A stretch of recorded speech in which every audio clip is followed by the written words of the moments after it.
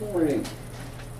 Last week, now I guess we ended um, talking about some of the internal problems that Israel was facing. Remember, now we looked at the foreign marriages, um, but we found out um, that after the 90 years plus since Zerubbabel uh, had led the first group back to Jerusalem from captivity, we found out that there was more than simply leadership and motivation problems um, in the physical problems, you know, of the wall and that. We find Nehemiah finds um, that there is uh, a lot of other spiritual problems in Israel. And if you turn to uh, Nehemiah 5 was where we ended up last week. We saw there that um, in the midst of rebuilding, um, the Jews were pretty taxed by the king. And uh, many had been moved to poverty. And then what we see happening was the more wealthier Jews were um, lending to the poor. Um, and they, the poor, they were forcing them to mortgage their properties. Some had to sell their sons and daughters into slavery, and the wealthier Jews were charging interest. Um, and when you think of that, um, that's pretty wild. That's exactly what the Gentiles done, and here are the Jewish people following that. And Nehemiah gathers the wealthier together, and we see his uh, qualities and his character here because uh, he comes down he comes down on them hard. He rebukes them, um, and he tells them, um, you know, that it was imperative for their safety that they maintain the right relationship with God, and by treating one another that way certainly wasn't what uh, what God had expected from them. And we looked at um, back in Exodus and Leviticus where they were uh, charged with not charging uh, interest amongst each other. And then in verse 11 and 12 of chapter 5, we see where Nehemiah uh, urges the rich now to return the property that they had uh, gained and to restore the interest money back to those that uh, um, were poor and we see that they did that. Um, and the priests were called together, um, and everyone promised that that would end. And then in Nehemiah 8, verses 1 to 18, um, this is an important chapter. Uh, this tells of the spiritual revival among God's people through public reading of the scriptures. Ezra is now the main character in the next few chapters here in uh, chapter 8 and on, I think, into 10.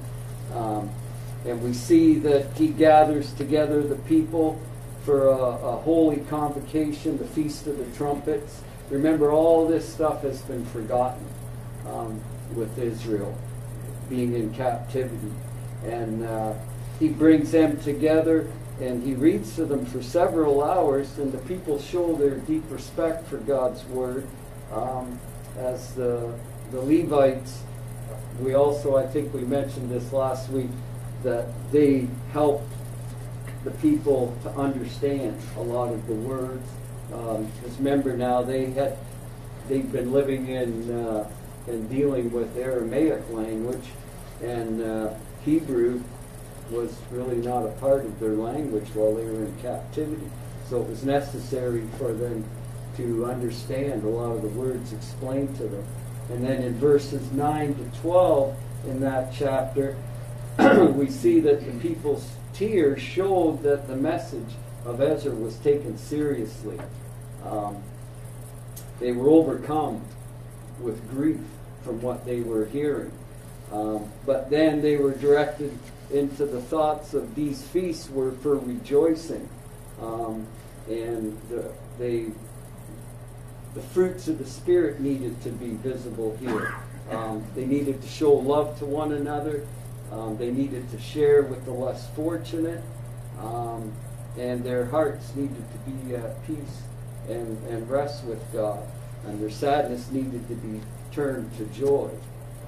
And so, for right on through to verse 18, um, we see the in verses 13 to 15, the very next day um, was a special time for Bible study for the leaders, um, the priests and the Levites. Um, they had even begun to discover ordinances that they had forgotten, such as the Feast of the Booths. Um, all this, all these feasts had not been uh, followed, I think, except Zerubbabel when he first went back. He began to remember the Feast of the Booths, somewhat, a partial observance of that. Um, but all these things had been forgotten um, through those years in captivity. And then uh, Nehemiah 10. Nehemiah 10, verses 28 to 39. We see here now that the entire population agrees to observe and do all the commandments now of, of uh, their Lord and His ordinance, His statutes. And um, in verses 30 to 38, again, we see more specifically the Jews bound themselves now to refrain from foreign marriages and to again remember the Sabbath day and the sabbatical year, to make annual contributions now for the temple services, um, even to what we would think might be minute points, but to provide wood for the altar of the Lord. All this stuff has been um, forgotten. And to bring the redemption money for their firstborn, the first fruits of their crops, to the temple, and to res- uh, such as restoring tithes. Um, all this had been uh, forgotten. And um, in that chapter 10, 28, 39, um, concern for their religious life was central uh, in this covenant. Um, the covenant deals exclusively with the maintenance of the temple and its servants. Um, remember the the Levitical priests, I think at this time were forced to, they were taking jobs working in fields because they were not being supported um, by Israel. And we see here now that this is the neglect for God's house is being brought out. And Nehemiah is reminding them of, uh, of their situation. And in chapter 13, 6 to 9, um, upon Nehemiah's return, again, um, he doesn't take long to, to tackle problems. Um, other problems had also appeared in his, his absence, and Nehemiah um, halts these evils. He takes control immediately. And, and in verses uh, 10 and 14, um, we see there again the restoration of the tithes uh, for the Levites. Um, and Nehemiah, if you notice, never shies away from rebuking the officials, uh, those that are to be in charge. Um, you know, he comes down on them. Sometimes we maybe avoid doing that. Uh, we pick on the weaker and leave the, the stronger, the ones that stand out, the leaders, um, we don't mess with them too much. But we see here, Nehemiah's example is no, it was wrong what they were doing, and they needed to be corrected. And, and so he did. Um, and it's interesting to note um, for that deed, we'll see this a little bit more, talk about it later, but Nehemiah, we notice, always asks God to remember him.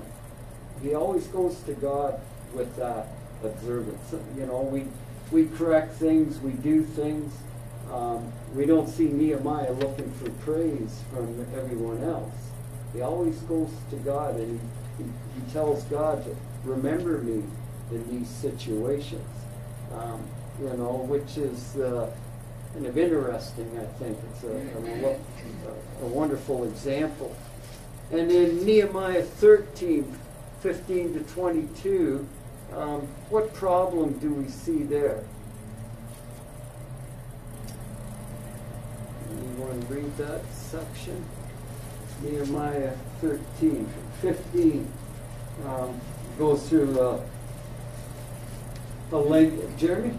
They weren't observing the Sabbath, uh, and they were they were uh, profaning the Sabbath. I guess Nehemiah says uh, in verse seventeen, uh, and that's something that they shouldn't have been doing. Right. Sabbath day was holy day to the Lord uh, for the Jews, and so they should have been respecting the Sabbath and not doing the work on the Sabbath like they were supposed to. Right, Exactly, exactly. And, and a lot of that problem arose from the, the the Gentiles, the foreigners um, who lived among them. They, they were trying to make the Sabbath a market day, you know. Um, but the Sabbath, as Jeremy said, was to be kept holy um, and by force if necessary. Um, men were, we read there, men were sent to secure the gates, and the greedy merchants that were camping outside the city, uh, they were run off, even to the point of threat of violence, you know. Um, and a, a, the illicit activity on the Sabbath came to a, an abrupt halt. And again, there we see in verse 22, Nehemiah says, And I commanded the Levites that they should cleanse themselves and that they should go and guard the gates to sanctify the Sabbath day. And again, the end of this verse, we see who does Nehemiah go to to ask to remember, to remember him. He says, Remember me, O my God, concerning this also, and spare me according to the greatness of your mercy. Um, I find that very interesting, and we make a point of that um, again here after the marriages. That Nehemiah always just went to God looking for the praise, the thankfulness, the strength. He never sought it elsewhere, which, you know, um, is something for us to consider.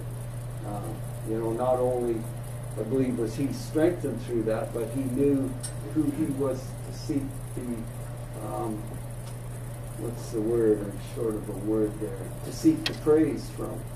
Uh, and that was God, and not from man. And then in Nehemiah 13, uh, 23, I, I put both these verses together at the end, um, 23 to 31. Um, what do we see there?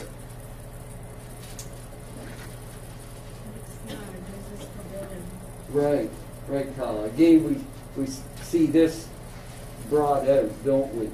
Um, and we spoke of this already, you know, the fact that, and the dangers and, and the commands that Israel was giving about interracial marriages. Um, but did we notice um, the man Nehemiah in this situation? Um, throughout his rule, uh, Nehemiah was a man of action. And I always remind myself, Persia put him in the place of being governor over this. So he also had to answer to them as they were his boss. But we never see that affecting his uh, trust in God, his strength to, to act as he ought to, it, it, as, as far as God's laws were considered. Um, if they went against, you know, whatever Persia said or desired, Nehemiah didn't do it, did he? He, he always did what God asked of him. And nowhere is, it, uh, is that more evident than here. Um, because in these verses, as a zeal for, for the things of God consumed him, if you look over in Psalms, Psalm 69, just the thought of of that. Psalm 69. Um, have you got that, Jeff? 69 and verse 9, sorry. Yeah. Because zeal for your house has eaten me up, and the reproaches of those who reproach you have fallen on me. It's a quote used for Jesus. The which? Quote used for Jesus. Yes. Right. Another comparison for, uh, we were speaking about last week, Nehemiah um, kind of foreshadowing Jesus. Um, that's right. Nehemiah was consumed, and and because he was no respecter of persons, I think we can say that because we saw that he not only blasted the leaders, he blessed the common people. Um, he pointed out sinfulness to, to everyone. Um, and his anger was felt equally by all who transgressed the law of the Lord. Um, in, in reading these passages, we see that he warned, uh, he admonished, he, he reprimanded, uh, he contended with them. Um, even he struck those that were uh, being sinful. He pulled out hair. Um, you know, I, this doesn't say that we need to run around and pull out one another's hair, but that was Nehemiah's anger, and um, he done that to, to clue people in.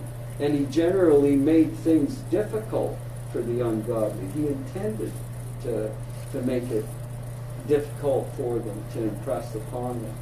Um, he was a courageous man and a, a tenacious general in the front lines of the fight against evil. He was a tireless worker. He was a great builder for God, or for, for God. And once more in verse 31, we see that he asked the Lord um, that he be remembered in all that he had done. Um, so it's interesting to see how, uh, Jeremy? I was saying, going back to 23 to 29, is he did something that we do today. He, he used an example. He, he, gave a precept on divorce and strange wives, the King James would say, are foreign wives. And sometimes when we look at a command of God, we then go to an example from Scripture. This is why. Well, he used Solomon here as, as an example of why this wasn't good. He said Solomon was beloved of God, and yet these women turned his heart. Yeah. Uh, and uh, so Nehemiah went to, to the scripture that they had for an example as to why this was wrong. Not Mhm. that it was wrong, because it was, but sometimes when people give commands, they don't understand why. Uh, they say, well, God's just being harsh, or God's being unfair. And Nehemiah not only told them why that it was wrong, but he gave an example of someone who followed God, but heart, his heart was turned away because he sinned. He called it out and outright sin. Mhm. Sometimes we don't call it that. He called it sin, and we must not be afraid sometimes if someone's in sin to call it that, uh, uh, even if that person was a king. Uh, so I just Yeah. caught that from. No, that's a, that's a good point. Um, and the thought of using an example, because it, you know, as parents we do that a lot, don't we? When we try and correct our children. Um, well, I do. I always say, look at the situations I've created in my life. It's because of those sins. But sometimes the younger, and not the younger alone, many adults, our attitude is, well, it happened to you, but it won't happen to me. Well, you know, as Jeremy pointed out, you're a king. It happened to a king, you know, and, and one that was so blessed with God's uh, grace and love and guidance, you know. So it, it is a good point to remember um, the example thought. And so then we move out of the work of Nehemiah into the rebuilding of the wall. Um, and archaeology again uh, helps us here a little bit um, with our story. Here's a section of uh, Nehemiah's wall, the, the rebuilding of it that was discovered, dug up, and uh, been preserved. Um, and like I say, uh, they're interesting. We see that these stories, um, these aren't fairy tales. You know, we believe the Word of God because it is the Word of God, but um, archaeology helps prove those points. Um, you know, and so thinking of Nehemiah's wall, we're asked how long did it take for the Jews to rebuild the walls of Jerusalem, and and what impact did this have on their their enemies?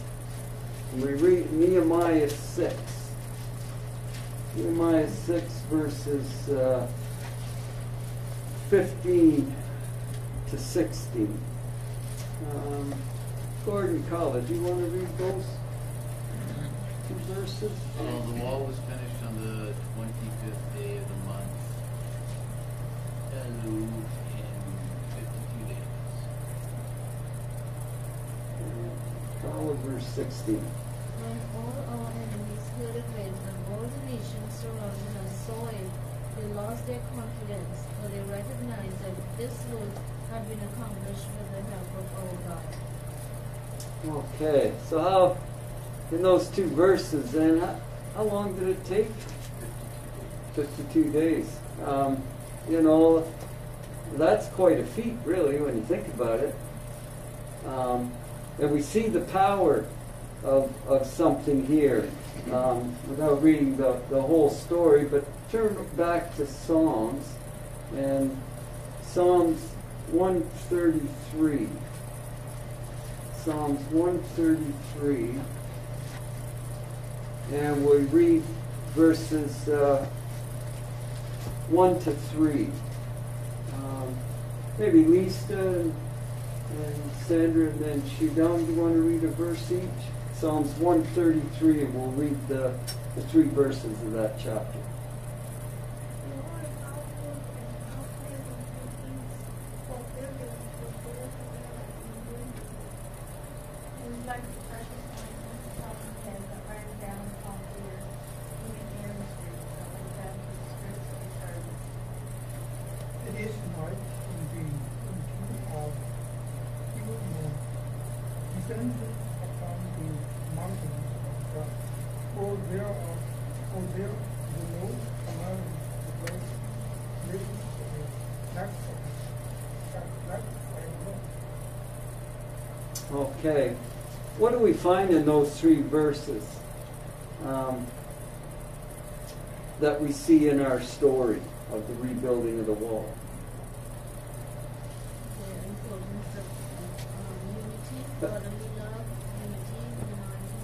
Right, Kala. Yeah, unity. Um, Nehemiah, remember, um, he gets the people together. He encourages them. He he, uh, he looks at the problem first, gets a solution for the problem, and um, everyone is drawn together.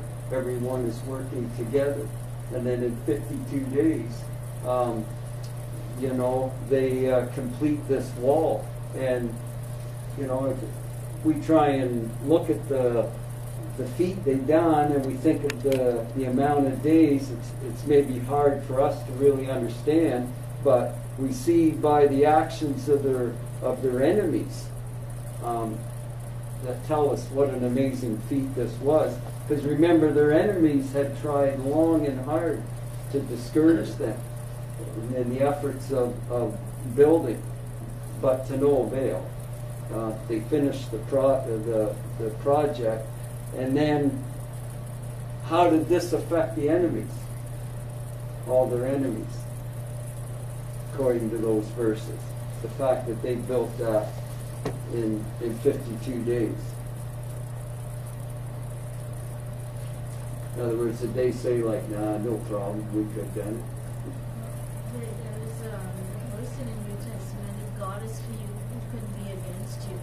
If God is really nothing, if you trust in the Lord with all your heart, you know things will go fine according, you know, to what he Right.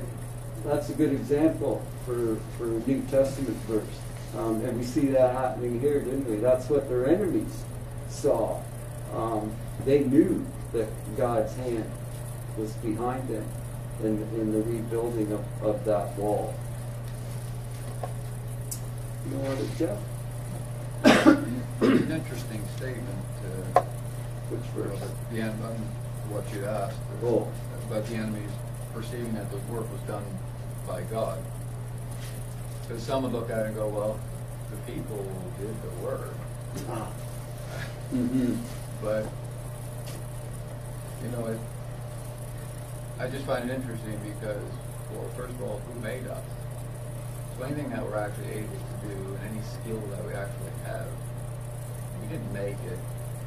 God gave it to us. Right. So even just the physical accomplishing Secondly, how long did that wall da- stay down? Uh, And it only took 52 days when they actually were motivated and energized to do it. Who motivated them? See actually it was God through, the, through Nehemiah. Right. So in every way, whether it's our physical abilities or our understanding and our motivation to do something, gets done because of God. Ultimately, not because of us, because we don't, we didn't make ourselves and we don't have the plan Mhm. for doing and building. God gives us that and the motivation. Right. I just find it interesting that some people can look at that, well, they actually did it. How could God do it? They did it. Right. So. That's right. Which tells you people see uh, and do understand the effects of God, don't they? They may not admit it, um, but you're right. They they saw right from the beginning. They saw the man Nehemiah who was devoted to God. Uh, unity is something from God. It's not really something we practice. We sooner do things ourselves. Um, but you're right. All the way through, um, they see that, Jeremy. Well, and, and even in verse 9, they prayed to God for them, for God to strengthen their hands. They said, uh, For they have all made us afraid, saying, Their hands shall be weakened from the work that it be not done. Now therefore, O God, strengthen my hands. Prayer works. Uh, God, God wanted the wall to be done. He did exactly what they asked, and the wall was done. They physically had to do the work, yes, but God helped them. Uh, and God helps us today in ways we may not understand or we may not know. But they prayed, and God answered their prayer. hmm Yeah, it just makes me think of a because the gospel meeting's coming up and handing out flyers. You know, a lot of doors you go to, uh, sometimes you're not really received too well. The door can be shut in your face, or you can get some pretty nasty uh, comments.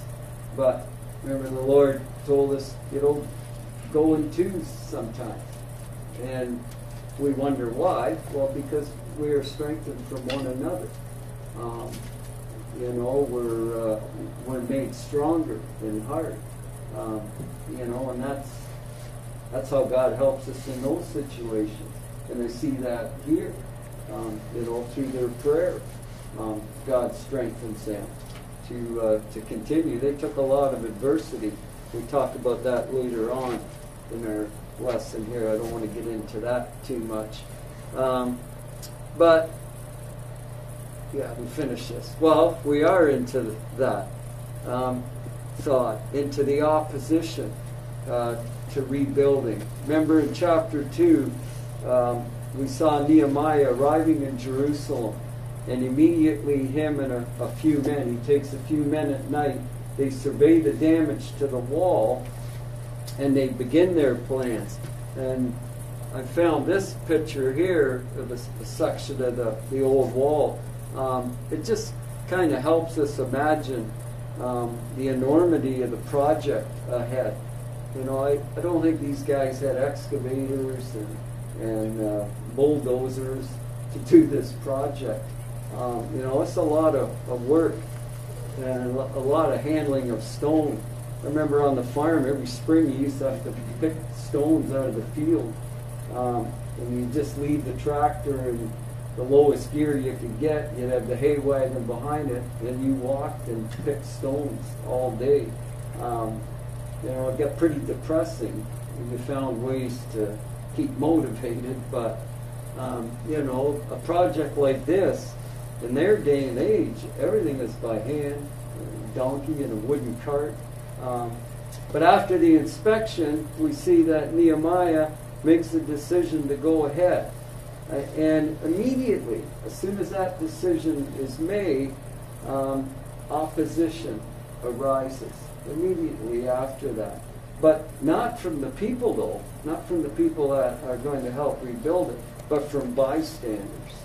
Um, those who had no use for the Jews, namely one man called uh, Sanballat, Jeff mentioned him last week, the Horonite, and, the, and another one named Tobiah. Uh, he was an Ammonite official.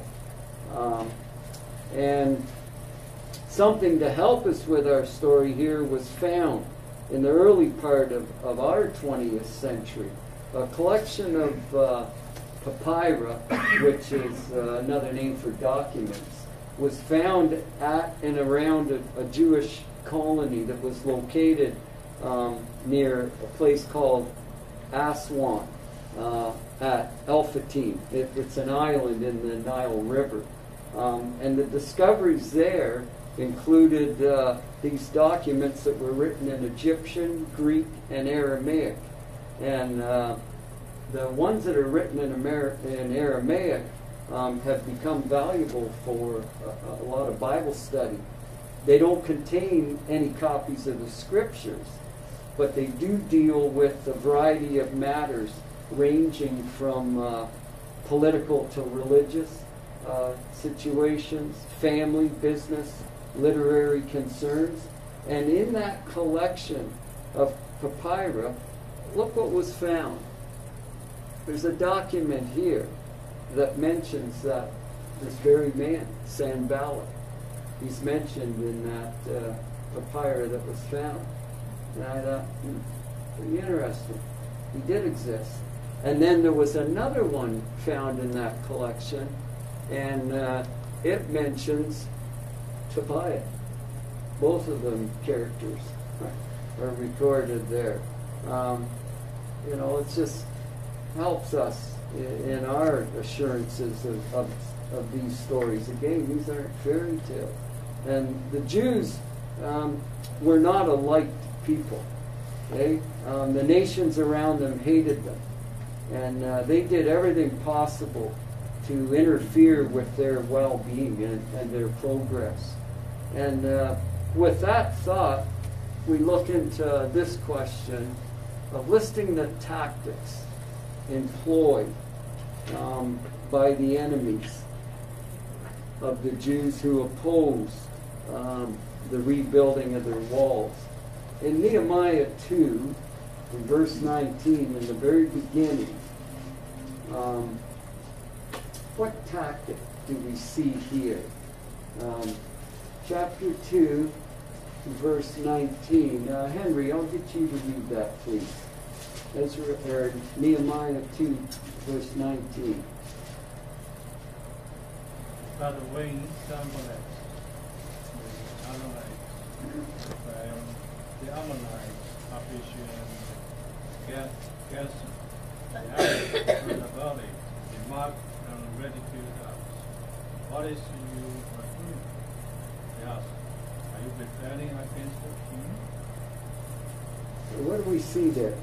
What tactic is uh, Sanballat and Tobiah, and we're even mentioned another character in there, uh, Geshem, an Arab. What tactic do they use? Igor? Yeah, mockery. They tried to belittle them, don't they? Um, they tried to use intimidation by saying that they were rebelling against their king.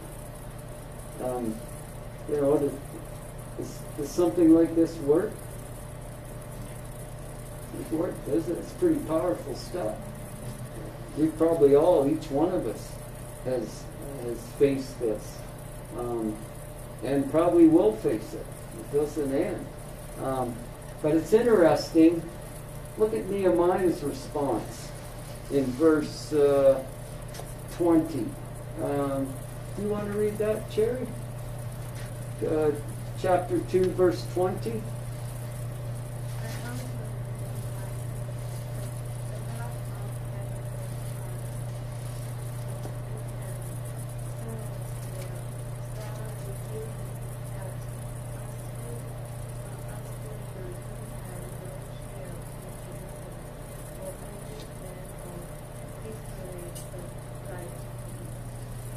Okay. It takes courage to say that, doesn't it? Nehemiah. Flat out. The God of heaven himself will prosper us. It takes courage to say that, but also we see where Nehemiah draws his strength from, doesn't? Because he believes that. Um, and so through his belief, that strengthens him, uh, enables him to say that. You know. Um, in Nehemiah 4, 1 to 3, um, let's read those verses. Uh, and you could take one and then Tim two and come up to Jeff. Nehemiah 4.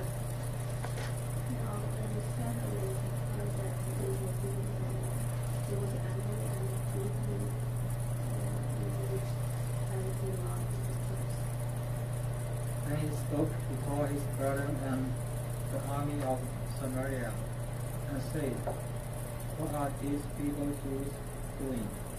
Will they mortify themselves? Will they offer sacrifice? Will they complete in, in a day? Will they relieve stones from the heaps of rubbish, stones that are burned? Now Tobiah the Ammonite was beside him, and he said, Whatever they build, if even a fox goes up on it, he will break down their stone wall. Okay. So what, what do we see here again? Anger and mockery. Anger? Anger and mockery. Yeah, anger and mockery. These guys are, are furious, eh? They- There we're told. Um, the Sanballat guy. And we notice that he mu- undermines the Jews' integrity uh, too, doesn't he? In hopes of setting others against them. He's trying to gather a- allies for himself, isn't he?